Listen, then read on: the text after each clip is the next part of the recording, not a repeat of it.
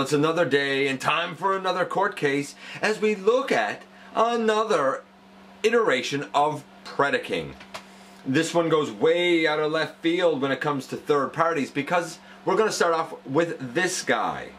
It is the oversized Jinbao KO of the MMC Feral Rex member repainted as Nero Rex Talon a third party representation of Predaking. And he's going to kind of be the source of a whole lot of conversation because we're going to use him as a basis to sort of discuss Feral Rex, discuss if the KO has merit, and we may even touch on a little bit of TFC's Ares in the process as we dig into the latest court case in this Got True review.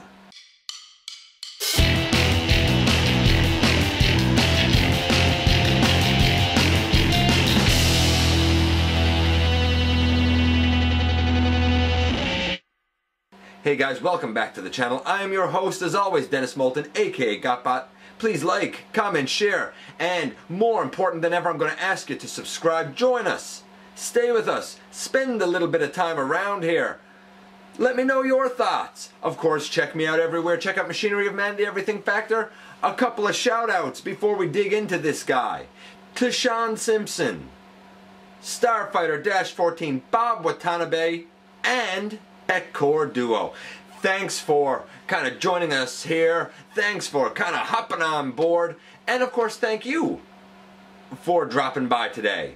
So this guy here, let's get a couple of things straight. By rights, the actual version of this figure is colored pretty well in representation of the character known as Divebomb, and it's about Voyager size. This is naturally bigger. This is more of a leader class size, but we'll see all about that a little bit later on. He has fantastic articulation and kind of unique detailing. The KO is full of kind of softer rounded curves more than the official version from MMC. That one has sharp lines, excellent detailing. It's very stunning, it's very crisp. This is good, but of course that is the real deal, even though it costs a lot of money. And hey, I'm a dude who has a family, I have a job, I have bills to pay. It is what it is. Nevertheless, is the official worth roughly a hundred bucks? Maybe. This is a far less expensive option and we're going to see how he also fits in. Perhaps if you're in the market for a Voyager class figure, and you want it at a little bit more of a reasonable price, maybe the TFC offering is the way to go. Stick around. I hope that this doesn't get too confusing as we cover a whole lot of things with this guy. So let's head over to the table for all of the details now. Okay, so we have another bird arm, I suppose you could say. And this version of Divebomb, of course, is going to kind of be the basis for uh, a more extended discussion as previously noted. I already looked at the unique toys uh, iteration of this character in episode 356 but of course that's not to everyone's taste and arguably he is too small. Now we're going to look at this guy as we normally do talking about paint apps, posability, playability, and transformation, but we're going to do it in a reverse order, and on some of those we're going to kind of mention some other things. You see, I'd love to take a look at the official um, Feral Rex Combiner, or even Nero Rex, but that comes with a hefty price tag indeed. So we will start here and do the best we can. Stay with me now. This guy is an alright arm. It's okay, but it's only okay. Yes, it's bulky. Yes, the plastic feels fantastic. But this is really about as much of a bend as you're to get for an arm. It attaches right here and this whole joint, this combiner joint is extremely tight. Uh, he does have a bicep swivel, which is nice, and the hand would sandwich in between the ankles again, but we'll look at that later. His tail feathers can stay on the back, or if you are so inclined for whatever reason, you can put them out to the side. No problem there at all. That being said, if you don't even want him to be an arm, and this is where the entire Feral Rex or Nero Rex uh, combiner becomes very stylized, this guy doesn't need to be an. He can also be an entire backpack. But before we get to that, let's take a look at his accessories and sort of get them out of the way first because one of them in particular is very important to kind of continuing on here. First and foremost, he comes with these two swords and they're colored all right. The silver has a bit of a blue tinge to it here. Um, I think the actual ones, the official ones are colored differently, but they're still basically the same sort of styling. They look cool and they certainly do look ferocious. He also comes with this glorious blaster and I love that metallic purple. Now, the actual version, if I'm not mistaken, is more of a gray type of color and that's that's probably more realistic if you know huge alien robots can be realistic but it, it looks like this. It's pretty fantastic. I totally dig it. By the way that piece there can open out if you are so inclined. And last but most assuredly not least is this gorgeous wing pack it can go directly on the back of Leodux, their version of Razorclaw, via this peg here. But while this can be a backpack on its own, it does not at all need to be removed from the Divebomb Talon character because he as a whole can become a backpack. I will point out here though that the wings can move, you know, back rather far if you're inclined. Um, they can move up and down. Each of these can indeed open up and splay out to, to look more menacing. And if you wish, the entire thing can come down like that. So it's a very versatile backpack. You may notice that I'm still at a distance here and there's a reason for that. Of course, this is him once again in arm mode and I already mentioned that he, he attaches there but I said he can become an entire backpack and indeed he can. So how do we do that? We basically straighten up his legs and his waist. We turn them like this. We bring the head back and then we come to the front and we open up that section and we have another peg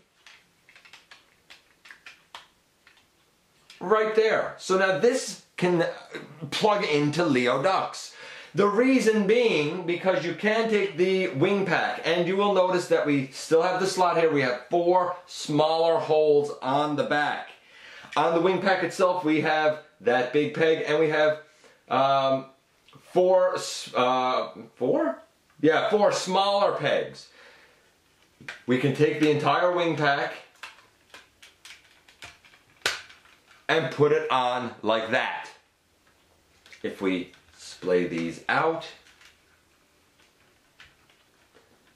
now as a whole he can serve as the back of our Predaking Combiner. Very interesting take on this character and that as an option. Uh, I like it. it. It's different, it's stylized, but it, there is something cool about it.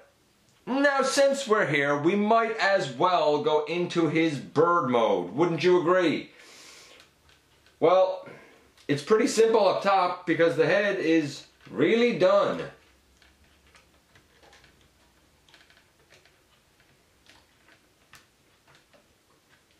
Bring this peg down, close that down. We'll just bring up the bird head there for now. We take the talon sections here and bring them down all the way. Open it out. Bring it down all the way. Open it out. And you can even, if you're inclined, though they're very tight here, you can split his bird mode legs and in the end have a bird that looks like this. It is amazingly imposing and again solid to stand. I totally, totally dig this. I think it's a really cool take on this character. Now just to make life a little easier, let's bring the wings down. And we're to bring this in just a little bit to get a closer look on him. And in this mode, if there was ever a bird of prey, this has to be it. I absolutely dig it. It's really easy when you're in arm mode to go to the full backpack mode and to go, of course, to the bird mode. You don't have to move much of anything at all. But what about going to the robot? Let's do that now and then we can finally get into some discussion and some grading of this guy. And you'll notice now that we're kind of panned out again because this guy really gets kind of big. All right, so where do we begin? Easy things first. Take the claws, bring them back up, take the claws, and bring them back up for now. We can even straighten these down. We come up here and we bring that arm down and bring the hand out. We bring the arm down and the hand out. That's pretty easy to do.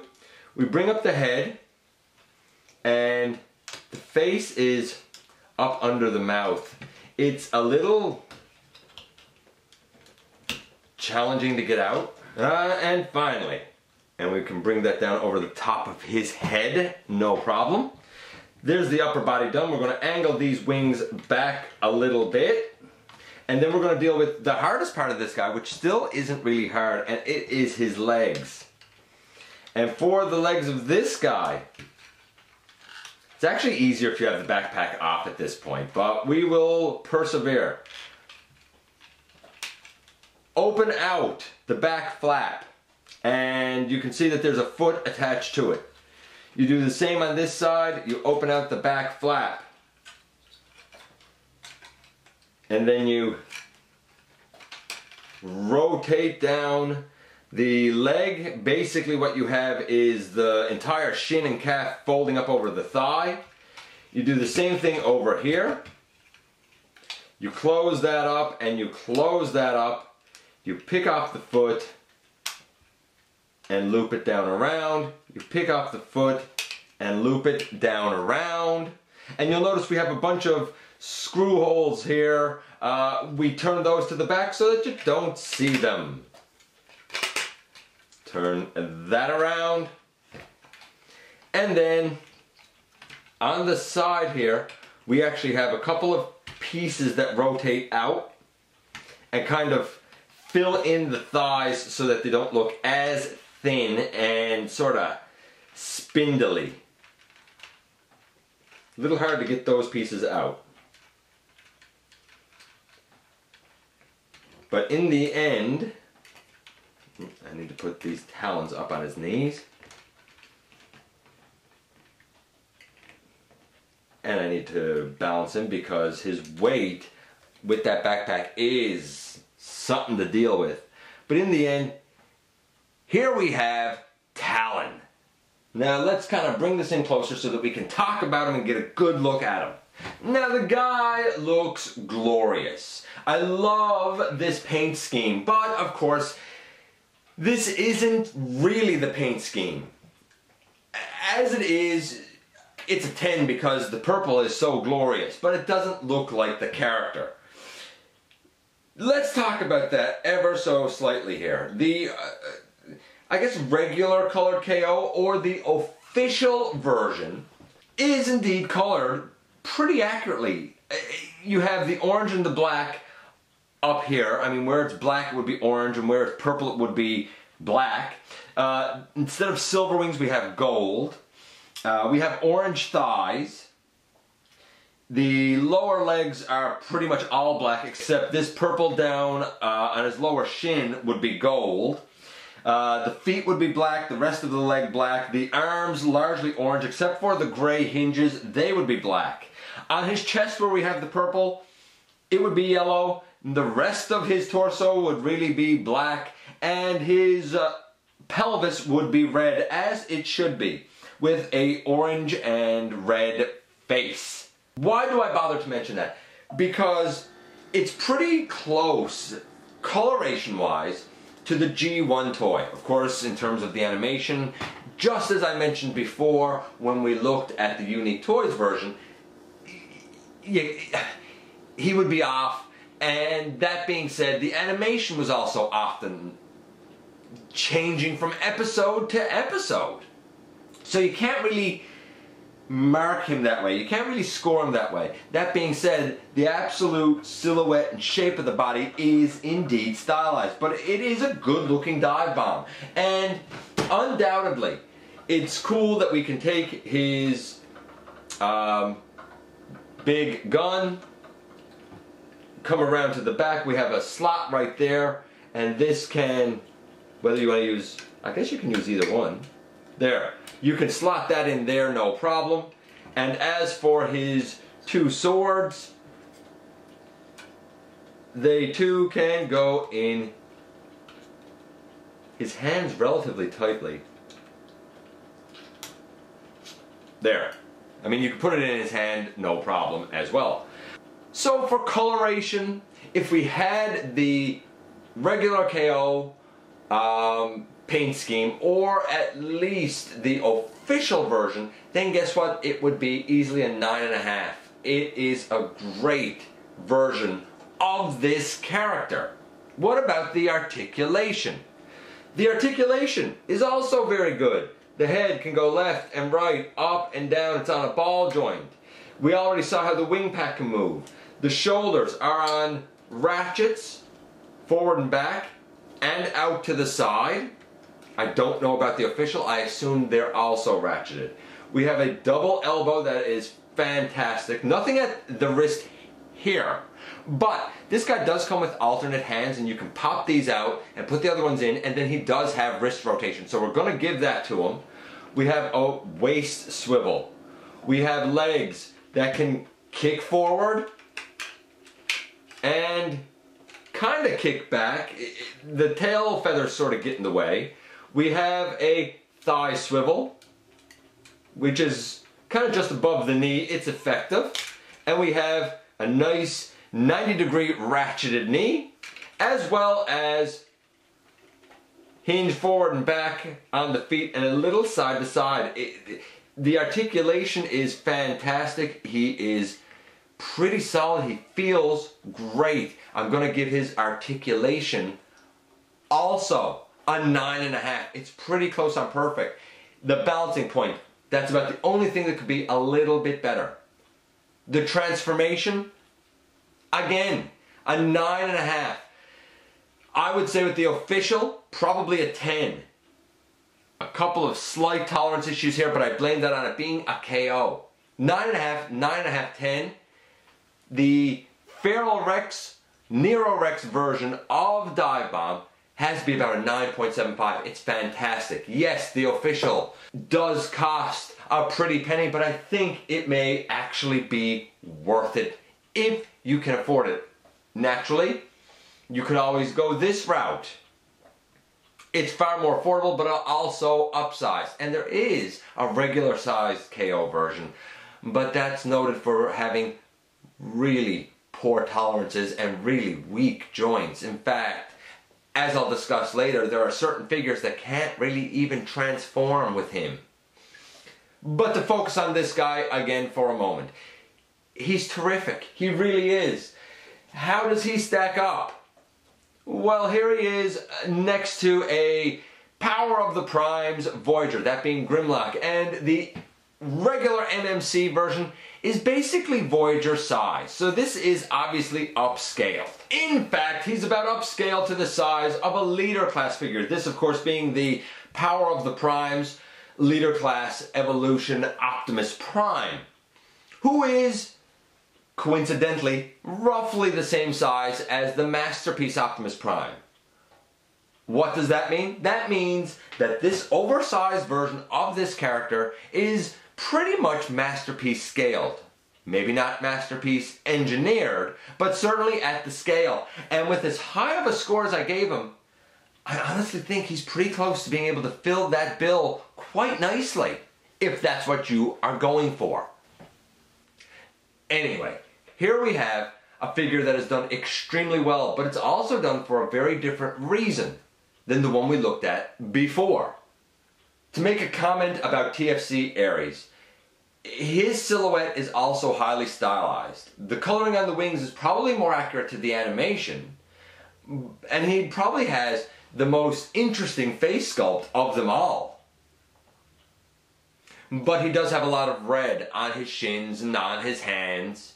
He has yellow broken up on his chest. The actual version of this guy gives us a sense of what a Voyager scale limb could look like and what it should act like. Could the articulation on the elbow be better? Yeah, sure could. But, hey, nothing is absolutely perfect. I think that for the Chug Collector and the G1 Purist, the unique toys way is probably the way to go. For somebody that likes something kind of completely different and enjoys a Voyager class scale, then Ares might be the way to go. But if you're looking for kind of the happy medium of going back to your nostalgia and having a larger version of Divebomb, then I think that Feral Rex indeed is the way to go. Well, what if you're a masterpiece collector? It got to be, at least for now, the oversized KO Jinbao version. Oh, so much to continue, so much to consider, and we're only getting started as this is the first guy from this set. And we're back here. Of course, by now you know that I think this guy is pretty fantastic overall.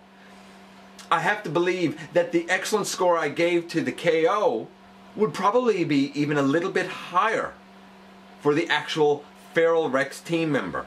And indeed, that would make perfect sense, would it not? Well, if you're in the market for something that can kind of at least stand next to masterpiece figures for now, I think that this might be the way to go. If you're in the market for something to go with a chug collection, then I would say no to this offering. And of course, if you're simply somebody who thinks that Voyager class is the right size class, well, you have two options. You have the official version from MMC, you have the TFC version, which might be up your alley, even though the styling on that is definitely more unique. Oh, there are so many choices to consider. For now, I would say that this guy is a very strong start. Oh, and by the way, something that I did not mention when we were at the table. These sword pieces, they can go incorporated. The thigh fillers have holes in them that do accommodate these being pegged in.